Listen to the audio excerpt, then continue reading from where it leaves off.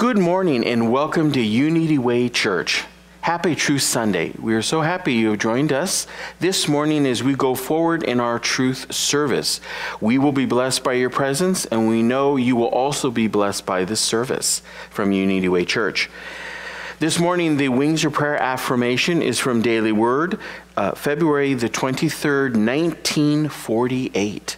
And it is Begin today to put your whole faith in the triumph of good. Again, begin today to put your whole faith in the triumph of good. Just think about that divine idea, the triumph of good. We live in a world without opposites. We live from a fourth dimensional understanding of who we are, which means that both you and I are the Christ. We are the expression of the Godhead, of Elohim God, Jehovah God, Yahweh, all those ancient names, they represent us. They represent us. And because of our recognition of that I am presence, we truly come to express and live the life that we choose to live right here and right now during this incarnation. So I just invite you to take that high ideal, the triumph of spirit, let it really soak deep, deep within your own soul self. Let it settle there. Be anchored in the truth. Be anchored in this truth that there is only one presence and one power, one life, one substance, one absolute good. And as we consciously allow that oneness, that's the foundation stone of our teachings. It's the foundation of our own soul self our life becomes clear. The waters that were muddy now become clear, and we can see the direction in which we wish to go forward this day. So let's just breathe that in deeply into us and know that we are the flame of the Holy Spirit indwelling us. We are satisfied, we are triumphant in this understanding. And if you believe that high truth calling, I invite you to use the mantra we use here at our church, which is thank you, God and so it is. Amen. And now here is Mickey with the daily word.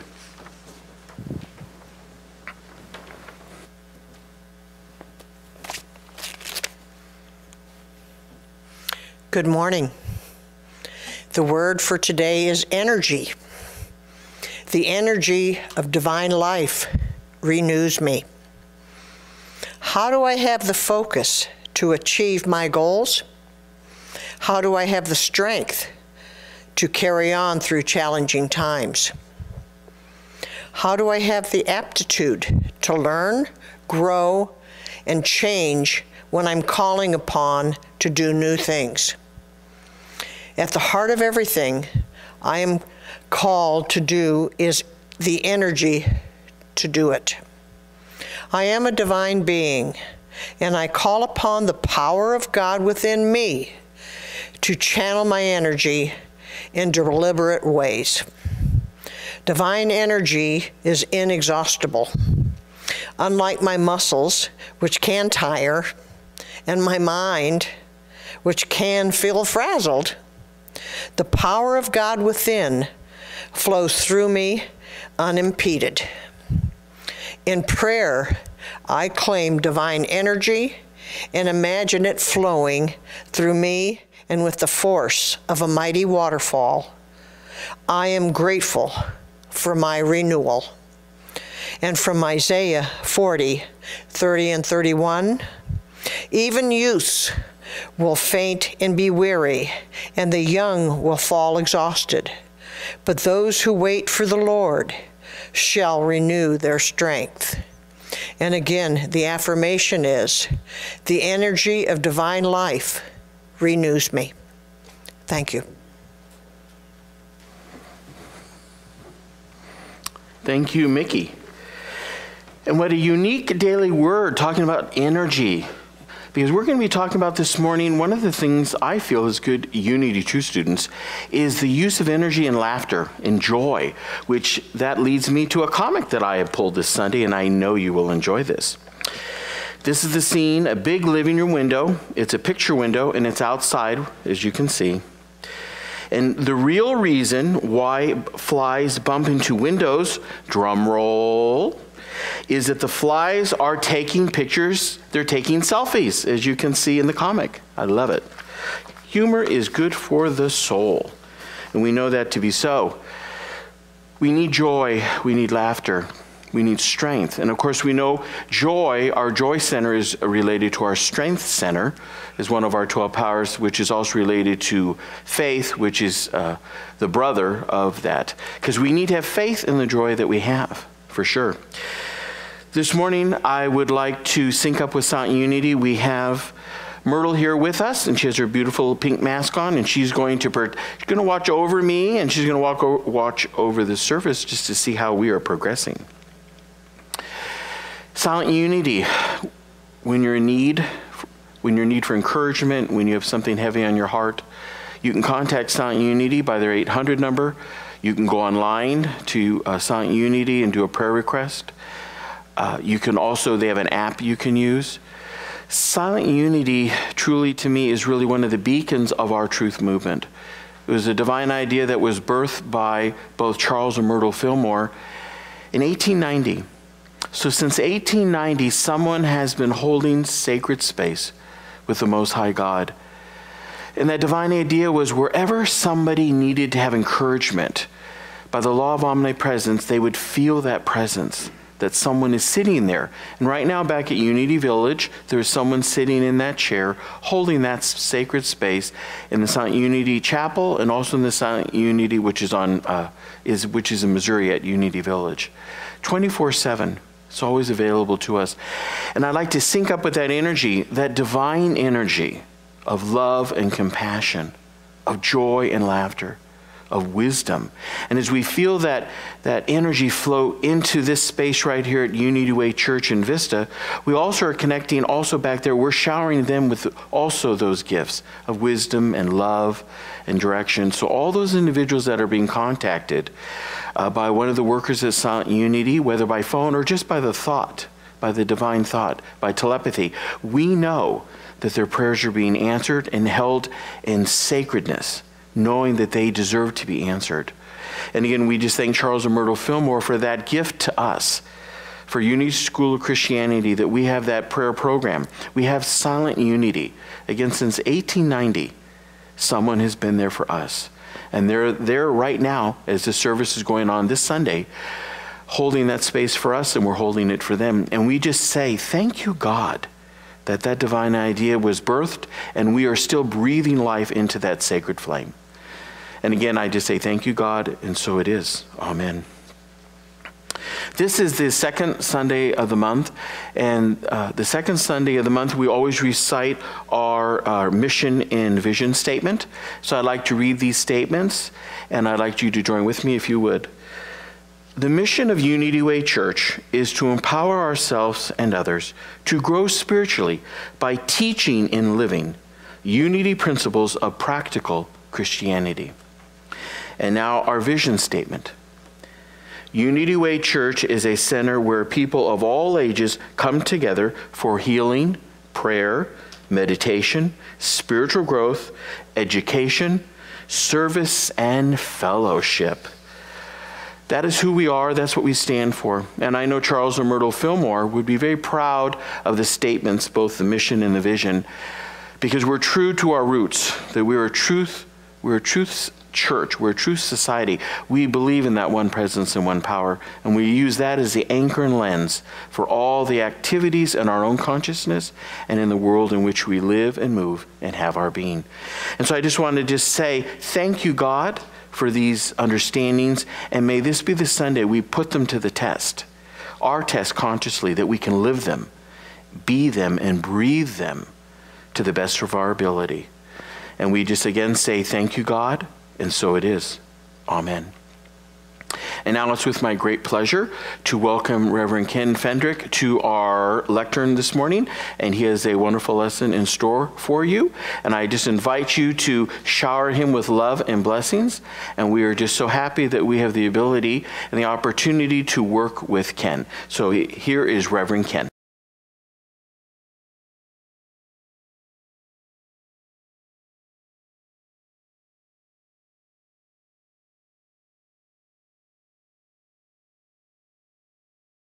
Well, thank you, Reverend Michael, and good morning, brothers and sisters at Unity Way Church.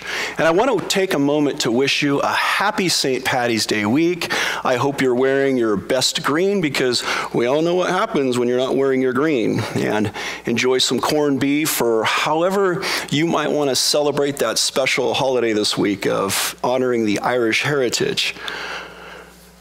And in that spirit of St. Patrick's Day, today's talk, we're going to explore the nature of luck. What is good luck? What is bad luck? Why are we lucky? So, I'd like to share a few quotes with you that will kick us off in how to luck in your largest life, which is the title of today's talk. This quote is The amount of good luck coming your way depends on your willingness to act. And that's from Barbara Sher.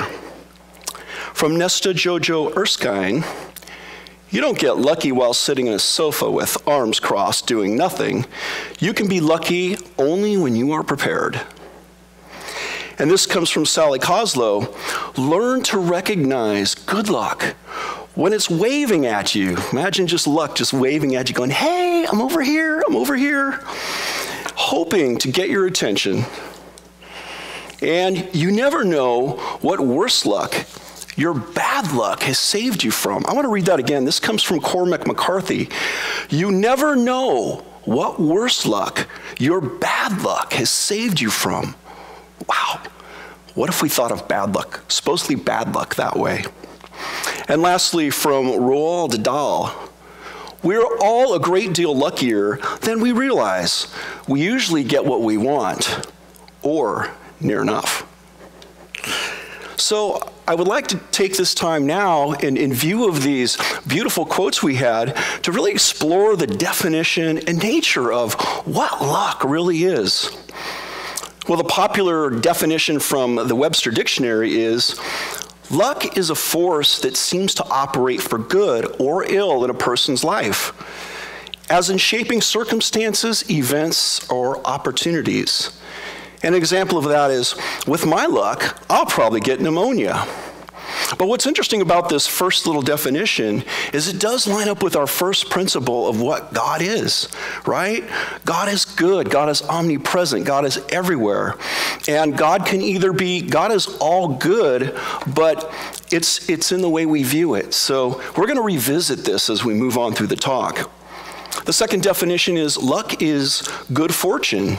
It is advantage or success considered as a result of chance. Now that's what a lot of people believe luck is. It's just it's it's random occurrences. It's not preordained. It's just chance. It's it's what happens to us. And we're going to look at how unity teaches us that that's not the case. The third definition is a combination of circumstances, events, or etc., operating by chance and bring, to bring good or ill to a person. Again, that aspect of chance, and that controls our good luck or our bad luck, our fortunes or our misfortunes. And an example of that is she's had nothing but bad luck all year. And lastly, some object in which good fortune is supposed to depend, as in this rabbit foot is, this rabbit's foot is my luck. And I just invite you to think about that, like how your own superstitions, because one of the definitions of luck, nature of luck, is superstition. So, how many of you have? I know me personally, when I go around ladders, I never walk underneath a ladder. I don't know why. It's because I learned as a kid you're not supposed to walk under a ladder, it's bad luck.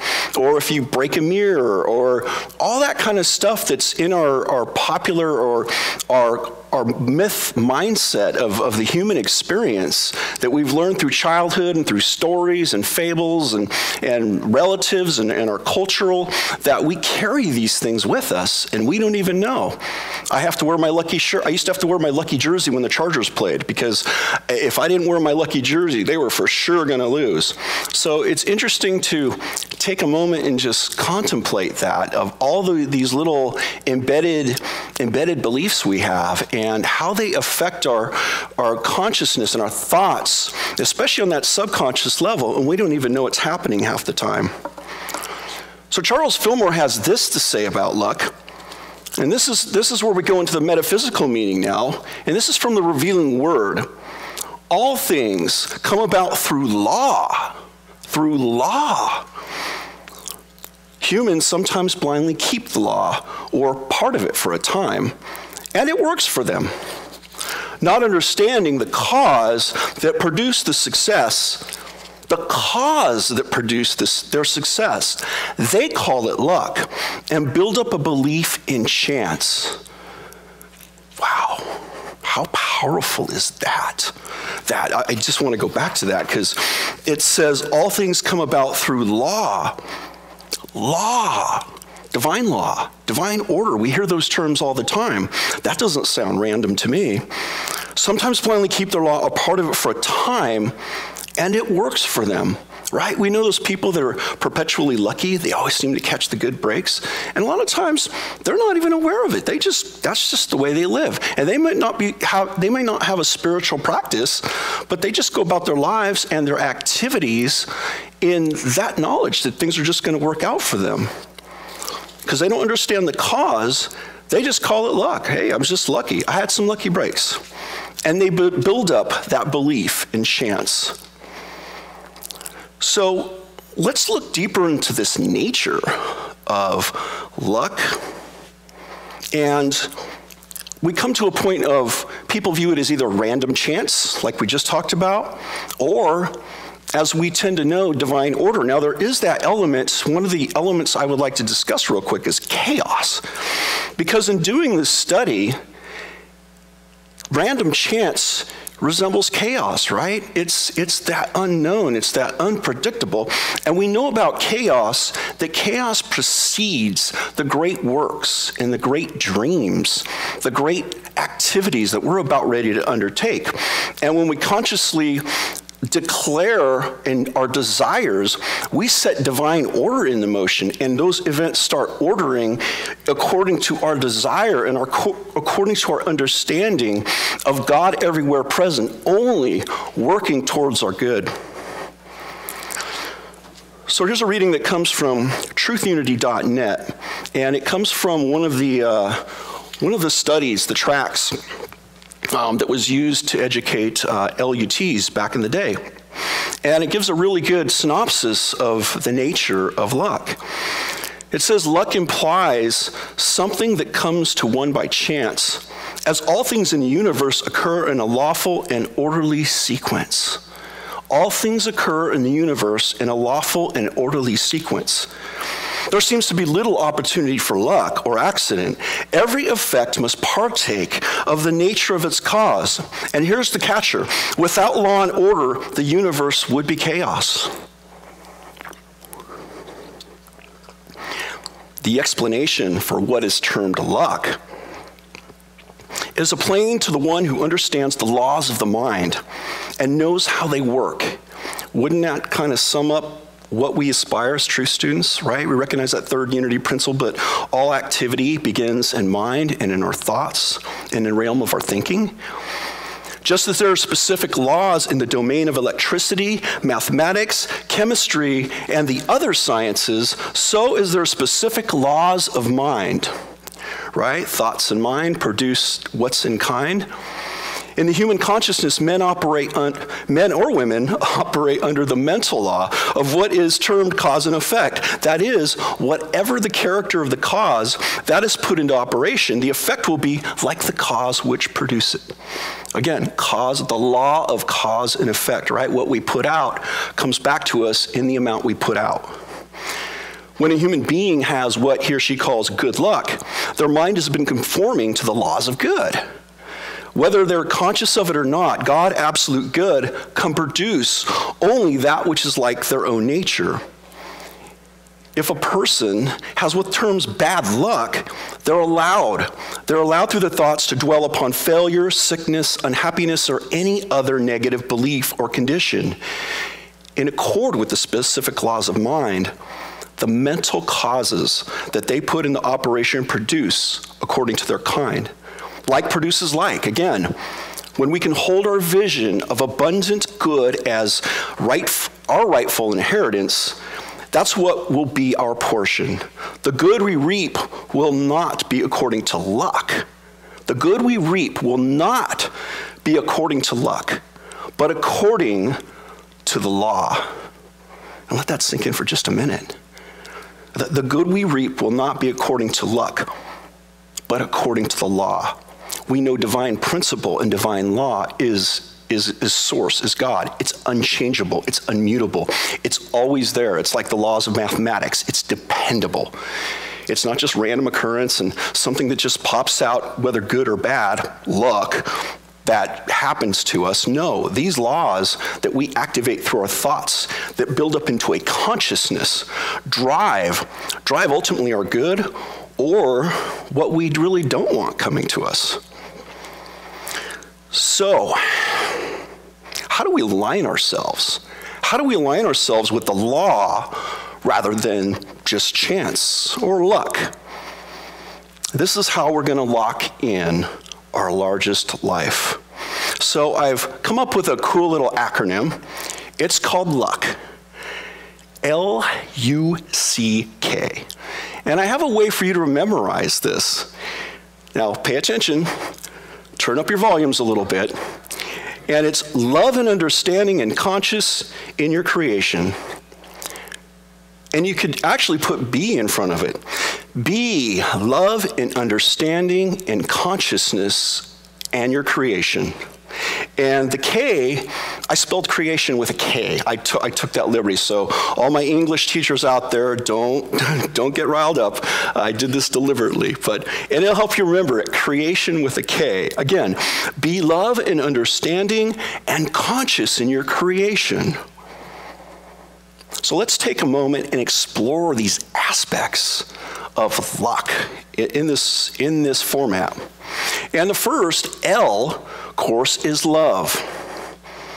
Love is the driving force, and as we had in our daily word earlier, love is the energy that fuels fuels our activity. So the, the higher and greater and more love we put into an activity or any kind of endeavor, that's what's going to drive it the lens or we focus it through is consciousness is our consciousness. Where are we at in our consciousness that we can that that force that magnifying force of love bubbling up and we can focus that?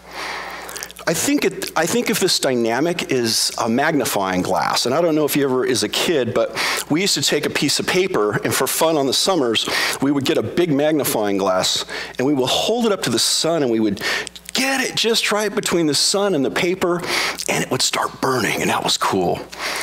Maybe that was just a thing for boys in those days.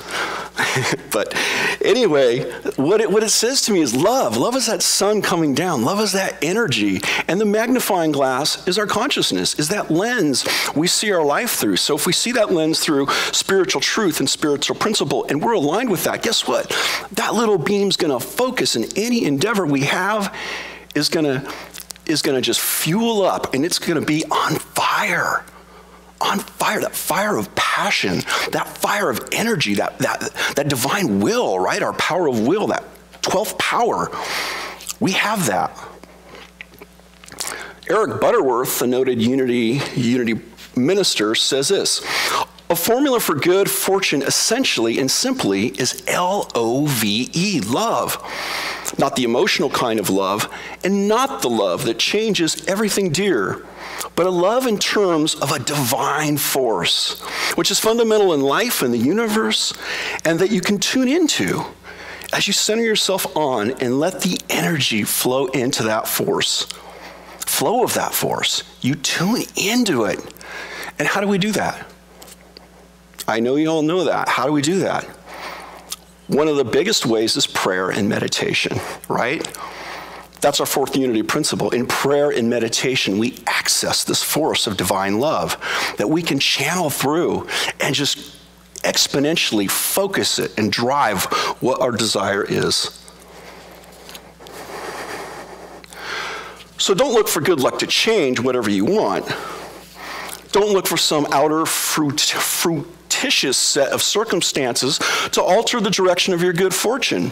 But get yourself centered in that realization that you, you are one with the true dynamic activity that loves you, that is working for you from within and which wills you only good which is ever seeking it to give you the kingdom of Jesus said. Tune in. Tune into that consciousness. Center yourself in it regularly through prayer and meditation. Get the feeling that love flows forth from you. Just infuse it. Fuse it in all your activities. Divine love is the magnetizer. When we put love into any activity, for instance, some of you may be knitters and create beautiful crafts. And when you knit something for your grandson, granddaughter, or you know, a friend of yours, when you infuse it with love, doesn't it make the process go much more smoother? And the creations you create are magnificent. And then when you give it to the person and you've created this out of love and to see the look of joy on their face and it constantly circulates. So again, love magnetizes it as we put that out in whatever we do, whether it be a job, whether it be something we volunteer for, whether it be an activity or, or anything like that it brings it brings things to us that we that we may desire. We may not even know we desire it, but it brings people to us, it brings resources to it, it brings prosperity to us. All of that comes back to us as we infuse all of our life's activities in love. So now I'd like to come to what the, the you portion is. And the you portion is understanding.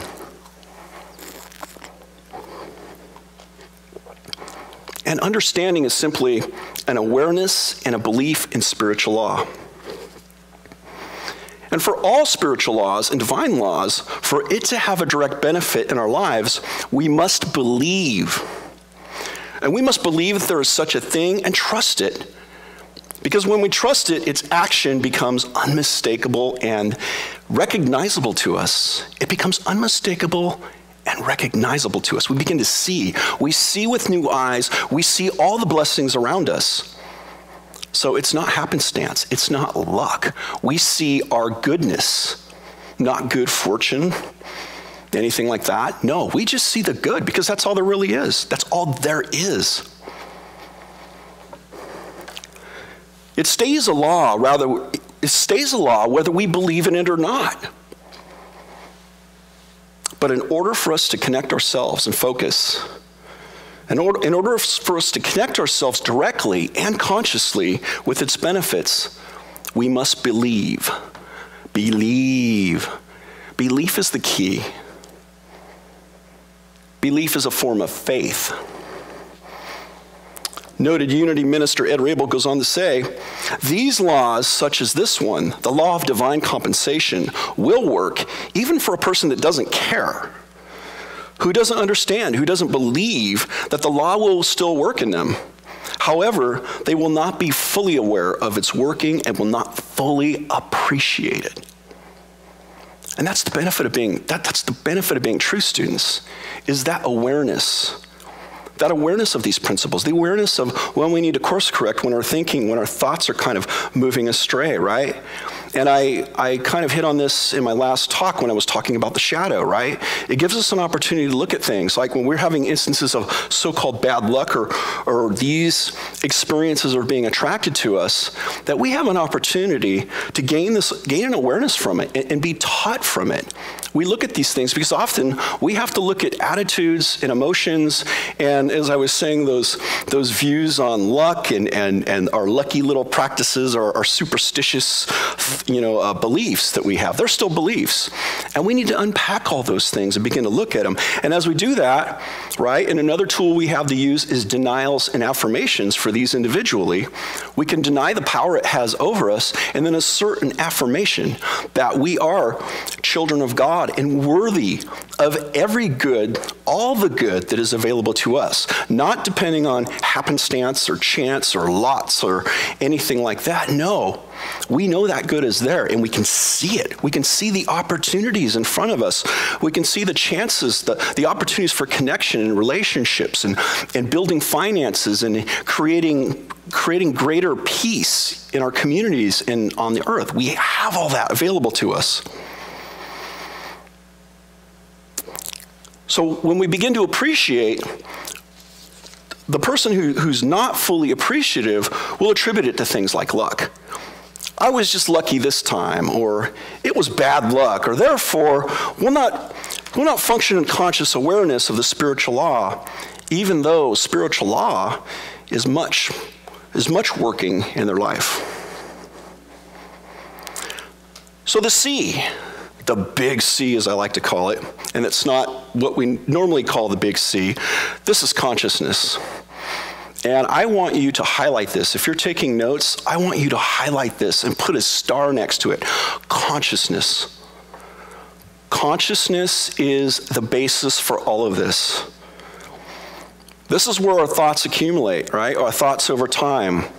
Our thoughts build this consciousness. They're like bricks. They're like bricks in a building. They're foundational. So, all our thoughts, if we hold true thoughts and we hold thoughts of positive thoughts and affirmative thoughts, those thoughts build that foundation for our goodness. If we consistently hold negative thoughts, and granted, these may not always be conscious, these may be activating these beliefs, these, these thoughts that lead to beliefs may be activating in our subconscious mind and driving our behaviors or driving how we act out of this. So the consciousness is so huge. And this comes from this comes from Eric Butterworth. Life is consciousness. You can't get away from it. The conditions, the environment, the events in your life are all results of consciousness. Again, life is consciousness. And consciousness manifests and expresses in the formative power of thought and mind and man's mind as they are now constituted, and they operate in three general modes. The mode of thought, that is the actual character and type of thought that we generate and express, and also modes of thoughts in the mental states. And the third, and the most important, and most frequently overlooked, is our persistent attitudes. Persistent attitudes. It's not just the random thoughts, right, that bring about our, our good or activate our good or activate the negative things that happen to us. But it's those thoughts that lead to the building, those bricks, of the persistent attitudes so we can weave a pattern of success by building into our consciousness the things that make for success. Turn on the green lights, as they say. You can succeed only if you really want to. And you work at it and you let the light of your God self shine in and through you and work for balance and positive thinking and positive action in faith and in works. In faith and in works. We'll get to that in a minute. If we faith in works, the praying and the moving of our feet, in praying, we think big and expand our horizon and keep it open. We keep an open mind. So, you're ever one with that infinite internal energy in which all things proceed. So we keep our mind open and alert to the guidance to new ideas and to new successes. We'll begin to reflect the presence of a pattern of success. Again, you will reflect the pattern of a presence of success. Wow. Wow.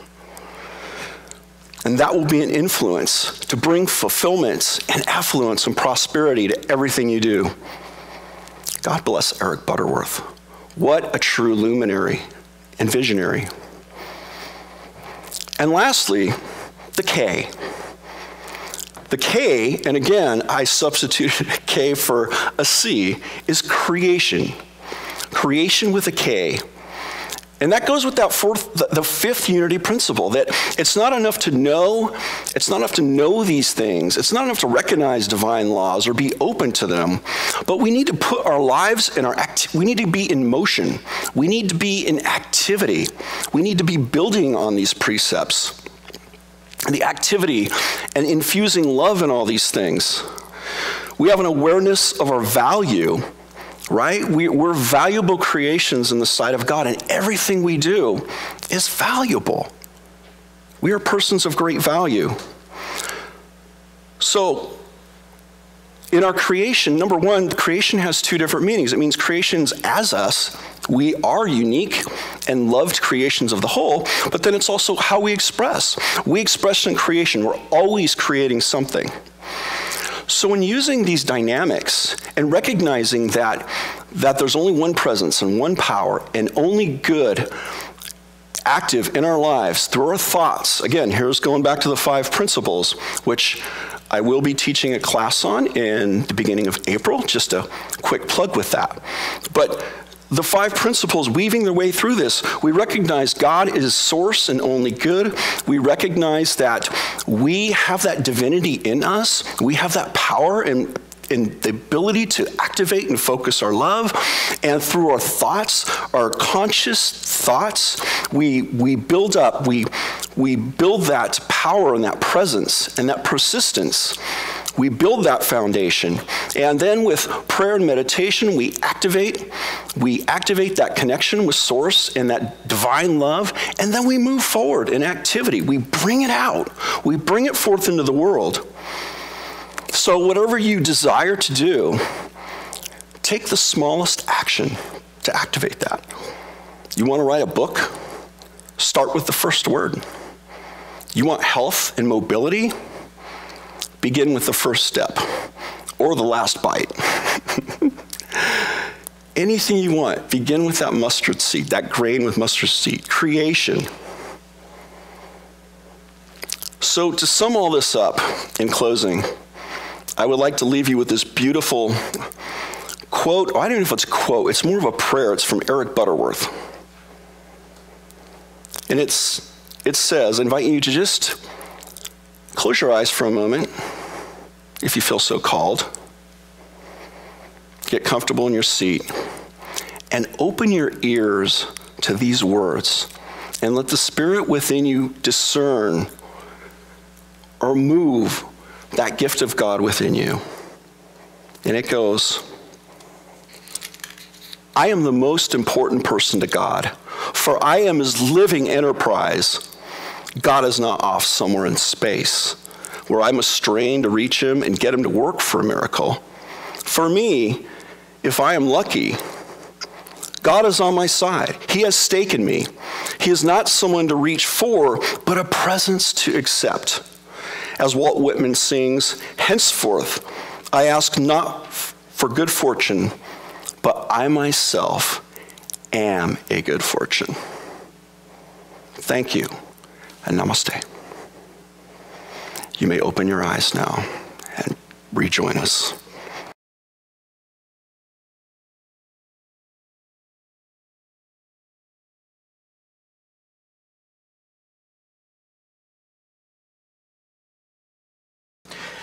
Thank you, Reverend Ken, for a powerful lesson that is truly where we are. We all need good fortune, especially Unity style, that's for sure.